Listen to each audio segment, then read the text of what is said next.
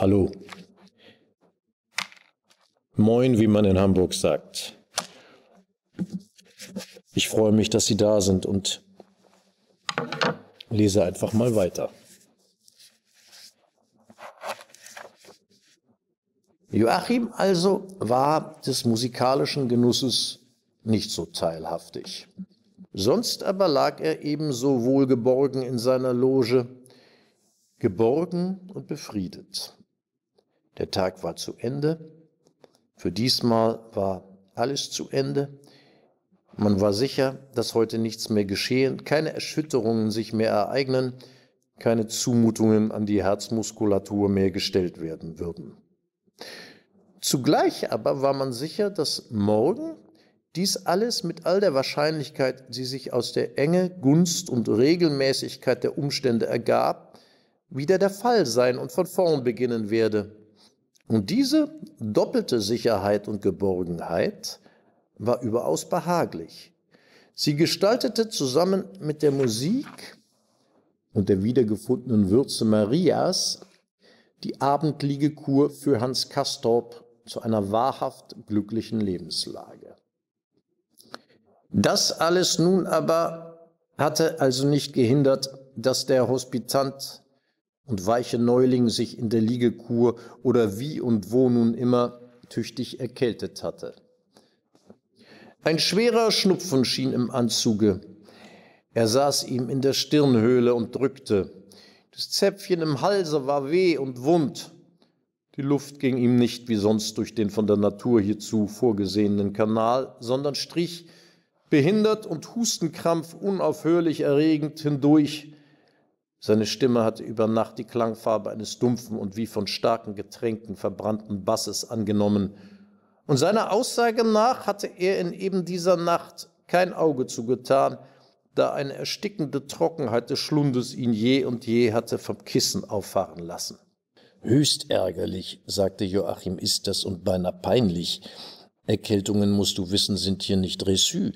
Man leugnet sie. Sie kommen offiziell bei der großen Lufttrockenheit nicht vor. Und als Patient würde man übel anlaufen bei Behrens, wenn man sich erkältet melden wollte. Aber bei dir ist es ja etwas anderes. Du hast am Ende das Recht dazu. Es wäre doch gut, wenn wir den Katar noch abschneiden könnten. Im Flachlande kennt man ja Praktiken hier, aber ich zweifle, ob man sich hier genügend dafür interessieren wird. Krank soll man hier lieber nicht werden, es kümmert sich niemand darum. Das ist eine alte Lehre. Du erfährst es nun auch noch zu guter Letzt. Als ich ankam, war hier eine Dame, die hielt sich die ganze Woche ihr Ohr und jammerte über Schmerzen. Und schließlich sah Behrens es an. Sie können ganz beruhigt sein, sagte er. Tuberkulös ist es nicht. Dabei hatte es sein Bewenden.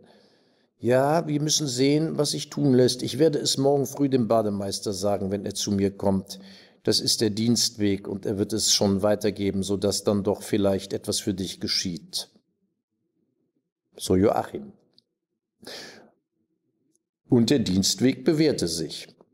Schon als Hans Castorp am Freitag von der Morgenmotion in sein Zimmer zurückkehrte, klopfte es bei ihm und es ergab sich für ihn die persönliche Bekanntschaft mit dem Fräulein von Mühlendonk oder der Frau Oberin, wie sie genannt wurde.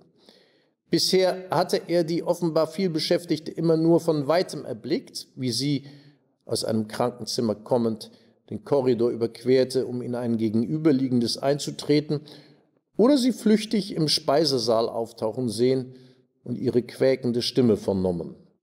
Nun also galt ihm selbst ihr Besuch. Durch seinen Katar herbeigezogen, klopfte sie knöchern hart und kurz an seine Stubentür und trat ein, fast bevor er hereingesagt, indem sie sich auf der Schwelle noch einmal zurückbeugte, um sich der Zimmernummer gewiss zu machen. 34, quäkte sie ungedämpft. Es stimmt, Menschenskind. On me dit que vous avez pris froid. I hear you have caught a cold. Wie kajica prosdidilci? Ich höre, Sie sind erkältet. Wie soll ich reden mit Ihnen Deutsch? Ich sehe schon. Ach, der Besuch vom jungen Ziemsen, ich sehe schon. Ich muss in den Operationssaal. Da ist einer, der wird chloroformiert und hat Bohnensalat gegessen. Wenn man seine Augen nicht überall hat und Sie, Menschenskind, wollen sich hier erkältet haben? Hans Castorp war verblüfft über diese Redeweise einer altadligen Dame.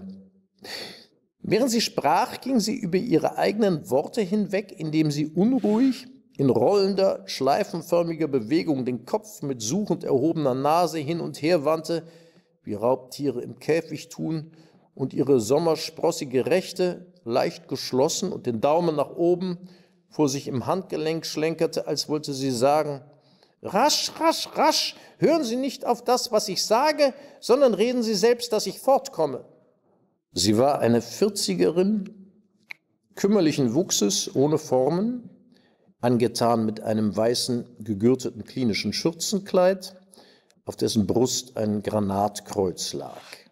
Unter ihrer Schwesternhaube kam spärliches rötliches Haar hervor, ihre wasserblauen, entzündeten Augen, an deren einem zum Überfluss ein in der Entwicklung sehr weit vorgeschrittenes Gerstenkorn saß, waren unsteten Blicks, die Nase aufgeworfen, der Mund froschmäßig, außerdem mit schief vorstehender Unterlippe, die sie beim Sprechen schaufelnd bewegte. Indessen Hans Castorp betrachtete sie mit all der bescheidenen, duldsamen und vertrauensvollen Menschenfreundlichkeit, die ihm angeboren war. Was ist denn das für eine Erkältung, hä? Fragte die Oberin wieder, indem sie ihre Augen durchdringend zu machen suchte, was aber nicht gelang, da sie abschweiften. Wir lieben solche Erkältungen nicht. Sind Sie öfter erkältet? War Ihr Vetter nicht auch so oft erkältet? Wie alt sind Sie denn? 24? Das Alter hat's in sich. Und nun kommen Sie hier herauf und sind erkältet? Wir sollten hier nicht von Erkältung reden, geehrtes Menschenkind. Das ist so ein Schnickschnack von unten.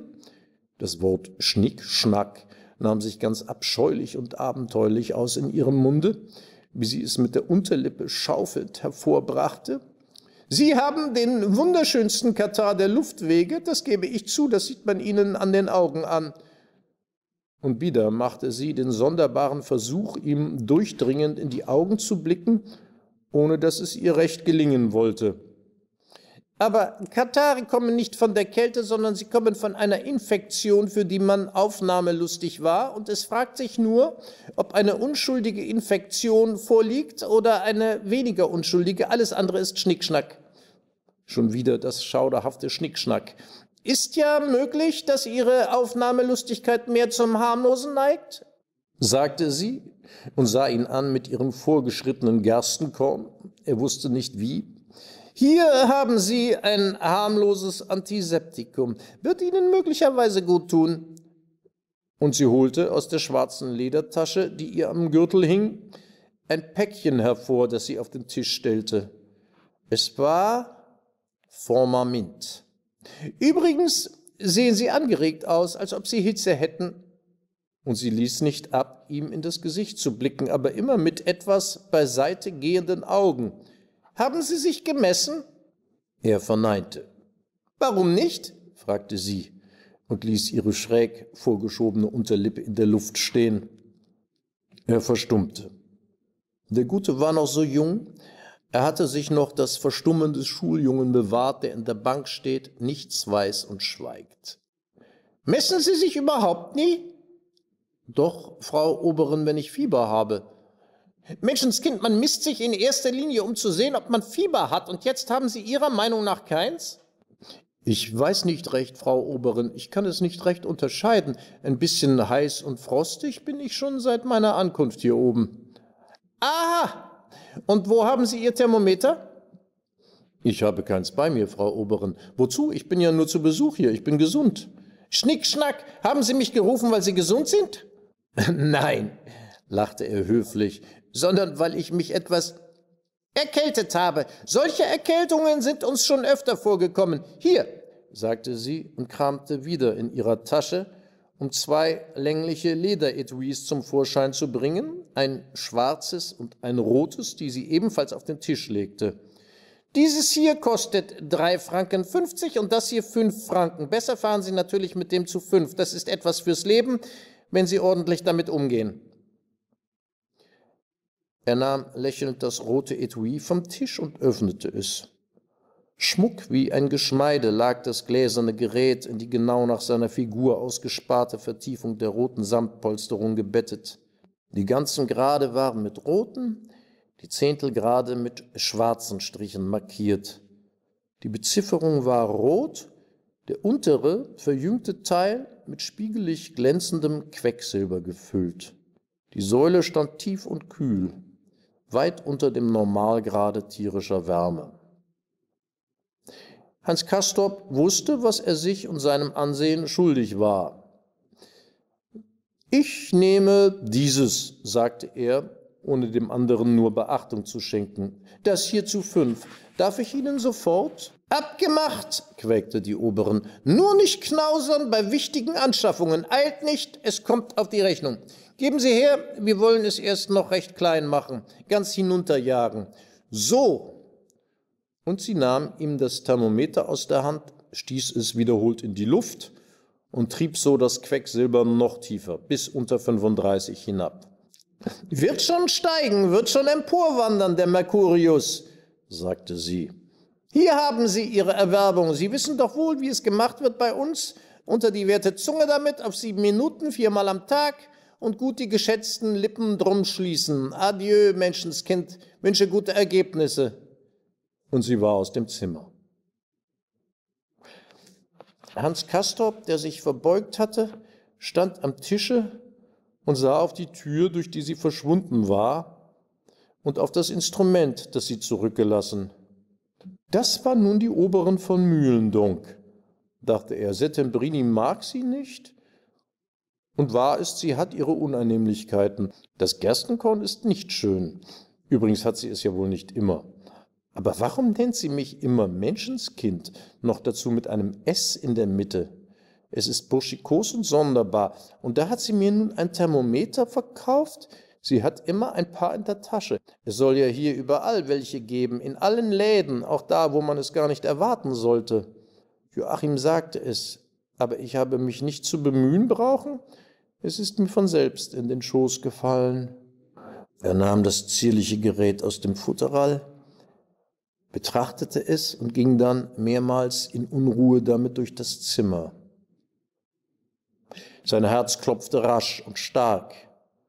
Er sah sich nach der offenen Balkontür um und machte eine Bewegung gegen die Zimmertür aus dem Antriebe, Joachim aufzusuchen, unterließ es aber dann und blieb wieder am Tische stehen, indem er sich räusperte, um die Dumpfheit seiner Stimme zu prüfen. Hierauf hustete er. Ja, ich muss nun sehen, ob ich Schnupfenfieber habe, sagte er und führte rasch das Thermometer in den Mund, die Quecksilberspitze unter die Zunge, so dass das Instrument ihm schräg aufwärts zwischen den Lippen hervorragte, die er fest darum schloss, um keine Außenluft zuzulassen. Dann sah er nach seiner Armbanduhr. Es war sechs Minuten nach halb zehn. Und er begann auf den Ablauf von sieben Minuten zu warten. Keine überflüssige Sekunde, dachte er, keine zu wenig. Auf mich ist Verlass, nach oben wie nach unten. Man braucht ihn mir nicht mit einer stummen Schwester zu vertauschen, wie der Person, von der Settembrini erzählte, Ottilie Kneifer und er ging im Zimmer umher, das Instrument mit der Zunge niederdrückend. Die Zeit schlich, die Frist schien endlos. Erst zwei und eine halbe Minute waren verstrichen, als er nach den Zeigern sah, schon besorgt, er könnte den Augenblick verpassen. Er tat tausend Dinge, nahm Gegenstände auf und setzte sie nieder, trat auf den Balkon hinaus, ohne sich seinem Vetter bemerklich zu machen, überblickte die Landschaft, dies Hochtal, seinem Sinn schon urvertraut in allen Gestaltungen, mit seinen Hörnern, Kammlinien und Wänden, mit der links vorgelagerten Kulisse des Bremenbühl, dessen Rücken schräg gegen den Ort hin abfiel und dessen Flanke der raue Mattenwald bedeckte, mit den Bergformationen zur Rechten, deren Namen ihm ebenfalls geläufig geworden waren, und der Alteinwand, die das Tal von hier aus gesehen im Süden zu schließen schien, sah hinab auf die Wege und Beete der Gartenplattform, die Felsengrotte, die Edeltanne, lauschte auf ein Flüstern, das aus der Liegehalle drang, wo Kur gemacht wurde, und wandte sich ins Zimmer zurück, wobei er die Lage des Instrumentes im Munde zu verbessern suchte, um dann wieder durch Vorrecken des Armes den Ärmel vom Handgelenk zu ziehen und den Unterarm vor das Gesicht zu biegen. Mit Mühe und Anstrengung unter Schieben, Stoßen und Fußtritten gleichsam waren sechs Minuten vertrieben. Da er nun aber mitten im Zimmer stehend ins Träumen verfiel und seine Gedanken wandern ließ, so verhuschte die letzte noch übrige ihm unvermerkt auf Katzenpfötchen. Eine neue Armbewegung offenbarte ihm ihr heimliches Entkommen, und es war ein wenig zu spät, die achte lag schon zu einem Drittel im Vergangenen, als er mit dem Gedanken, dass das nichts schade, für das Ergebnis nichts ausmache und zu bedeuten habe, das Thermometer aus dem Munde riss und mit verwirrten Augen darauf niederstarrte. Er ward nicht unmittelbar klug aus seiner Angabe. Der Glanz des Quecksilbers fiel mit dem Lichtreflex des flachrunden Glasmantels zusammen. Die Säule schien bald ganz hoch oben zu stehen, bald überhaupt nicht vorhanden zu sein. Er führte das Instrument nahe vor die Augen, drehte es hin und her und erkannte nichts. Endlich, nach einer glücklichen Wendung, wurde das Bild ihm deutlich. Er hielt es fest und bearbeitete es hastig mit dem Verstande. In der Tat, Mercurius hatte sich ausgedehnt, er hatte sich stark ausgedehnt. Die Säule war ziemlich hoch gestiegen, sie stand mehrere Zehntelstriche über der Grenze normaler Blutwärme. Hans Castorp hatte 37,6.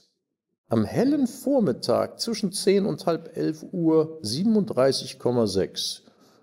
Das war zu viel. Es war Temperatur. Fieber als Folge einer Infektion, für die er aufnahmelustig gewesen. Und es fragte sich nur, was für eine Art Infektion das war. 37,6. Mehr hatte auch Joachim nicht. Mehr hatte hier niemand, der nicht als schwer krank oder moribund das Bett hütete. Weder die Kleefeld mit dem Pneumothorax noch, noch auch Madame Chauchat. Es war natürlich in seinem Falle wohl nicht ganz das rechte, bloßes Schnupfenfieber, wie man es unten nannte, aber genau zu unterscheiden und auseinanderzuhalten war das nicht. Hans Castorp bezweifelte, dass er diese Temperatur erst bekommen, seit er sich erkältet hatte und musste bedauern, Mercurius nicht schon früher befragt zu haben, gleich anfangs, wie der Hofrat es ihm nahegelegt hatte. Ganz vernünftig war dieser Ratschlag gewesen, das zeigte sich nun. Und Settembrini hatte völlig Unrecht getan, so höhnisch darüber in die Lüfte zu lachen. Settembrini mit der Republik und dem schönen Stil. Hans Castorp verachtete die Republik und den schönen Stil, während er immer wieder die Aussage des Thermometers prüfte, die ihm mehrmals durch die Blendung verloren ging und die er dann durch eifriges Drehen und Wenden des Instrumentes wiederherstellte. Sie lautete auf 37,6 und das am frühesten Vormittag. Seine Bewegung war mächtig. Er ging ein paar Mal durch das Zimmer, das Thermometer in der Hand, wobei er es jedoch waagerecht hielt, um nicht durch senkrechte Erschütterung eine Störung hervorzurufen, legte es dann mit aller Bewahrsamkeit auf die Waschtischplatte nieder und ging vorerst einmal mit Paletot und Decken in die Liegekur. Sitzend warf er die Decken um sich, wie er es gelernt hatte, von den Seiten und von unten, eine nach der anderen, mit schon geübter Hand, und lag dann still, die Stunde des zweiten Frühstücks und Joachims Eintritt erwartend. Zuweilen lächelte er, und es war, als lächle er jemandem zu. Zuweilen hob sich seine Brust mit einem beklommenen Beben, und dann musste er husten aus seiner katharischen Brust.